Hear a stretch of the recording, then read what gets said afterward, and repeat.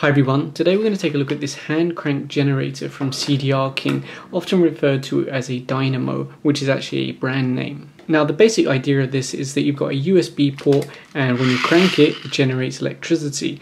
And according to the specifications on the back, it's outputting 6 volts and 500 milliamp or up to depending on how fast you crank it.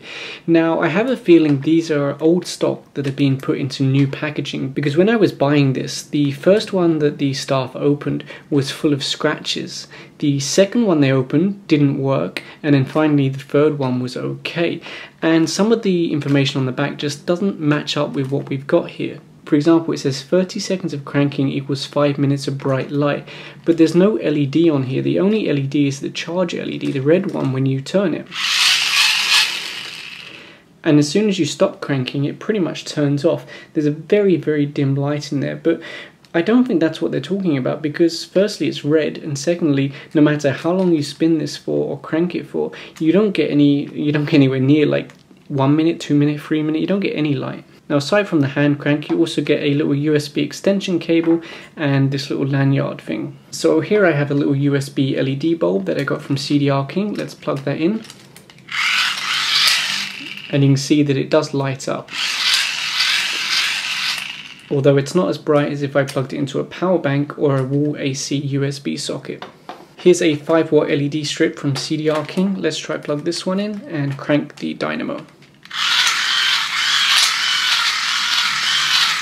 Now one thing you might be able to hear is the gears skipping or grinding against each other because when you try to power something which is drawing too much current, the gears start to skip and scrape against each other because they're just plastic. Listen to this.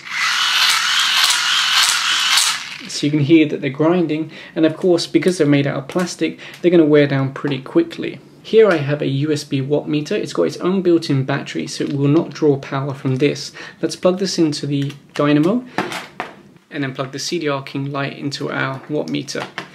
And I'll try and zoom in on this so you can see how much power is generated while I'm cranking.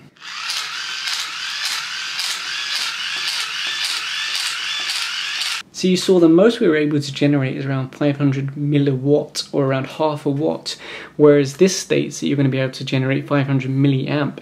6 volts 500 milliamp is actually around 3 watts. So instead of getting 3 watts, we're getting just under half a watt.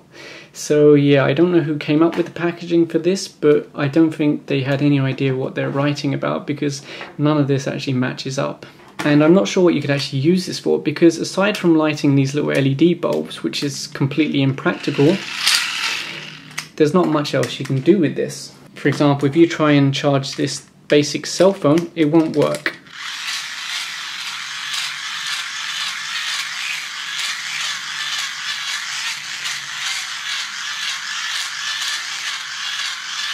You can see it tries, but basically it just doesn't generate enough power.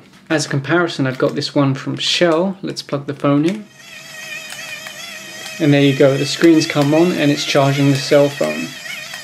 So this one can actually charge the cell phone, but the one from CDR King can't really do anything except for light this little LED bulb, and even that doesn't light very brightly. So it's kind of pointless. Um, I can't imagine any good reason to buy this. It's only 99 peso, so it is cheap, but I don't know what you could use this for. It's pretty much useless. When I try and charge a power bank with this, the power bank just stops trying to draw power because it's using more power running its circuitry than what it's actually being charged at. So yeah, I don't really know what the point of this is. So if you do see this in CDR King stores, don't bother buying it because it's pretty much useless. So if you enjoyed this video, please give a thumbs up and subscribe. Thanks for watching.